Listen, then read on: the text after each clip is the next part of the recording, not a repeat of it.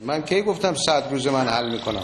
من که نگفتم در صد روز حل می‌کنم. مگه یه آدمی که عقل نداشته بشه حرف بزنه؟ من به نامزدهای گوناگون عرض می‌کنم جوری حرف بزنید که اگر در خرداد سال آینده نوار امروز شما رو جلو خودتون گذاشتن یا پخش کردن شرمنده نشید من کی گفتم صد روز من حل می‌کنم؟ من که نگفتم در صد روز حل می‌کنم. مگه یه آدمی که عقل نداشته بشه حرف بزنه؟